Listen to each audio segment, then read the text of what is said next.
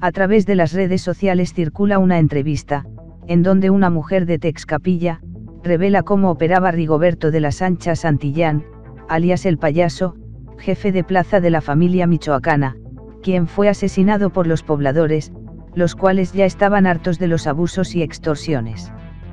En el material, la fémina señala que además de las extorsiones, los sicarios imponían toque de queda, y se robaban las pertenencias de los pobladores.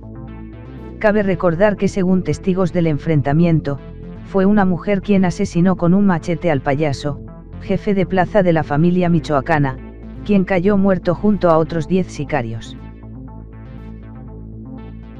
Adelante. Sembramos nuestras habas.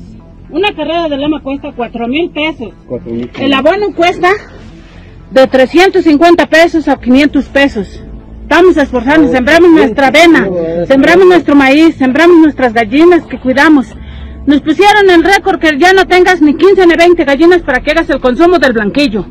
Que si siembras avena, tienes, bajas 30, 40 pacas, ve y véndelas y paga 10 pesos por paca. A no les importa si ya vendiste tus 50, 40 pacas o no, ellos quieren el dinero. Ahorita el campo de las habas no se dio ni una haba. Muchos sembramos cuatro carradas de haba, tres carradas de haba, no sacamos más de dos, tres arpillas por carrada de haba.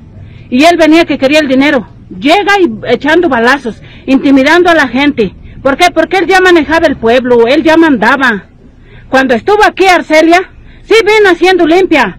Vino levantando al violador, al asesino, al ratero. Pero ¿qué fue lo que dijeron? Queremos guardar a la familia a las 7 de la noche porque el que caímos en carretera le damos piso. Pero ¿qué pasaba? Que nuestro pesebre amanecía vacío. Si había dos, tres reses se las llevaban. Si había seis, siete borregas donde estaban amarradas se las cargaban. Y si me va a costar la vida, yo vengo a hablar por el pueblo y vengo a dar la, que, la cara. Y yo sé que al rato mañana van a caer los cabrones y me van a dar piso. Pero con gusto voy a decir lo que, lo que siento y lo que es. ¿Eso ¿Por qué?